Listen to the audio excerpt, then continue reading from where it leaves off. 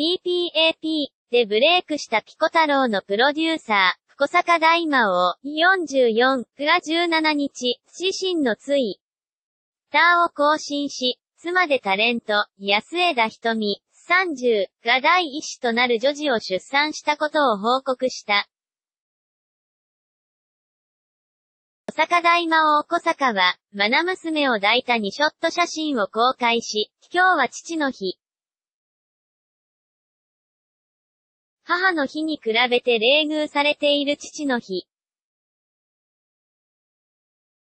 しかし、我が娘は、僕に世界で一番素敵なプレゼントをくれました。生命です。生まれました。と喜びの報告。さすが我が奥さん、超超超安産でした。ありがとう。最高の父の日です。と綴った。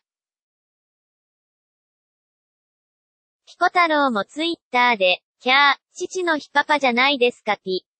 何ならパパの日父になるわけですね。なんなら父の日父だし、パパの日パパだし。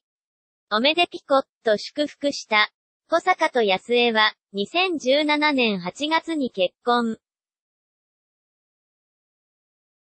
今年1月に第一子妊娠を発表していた。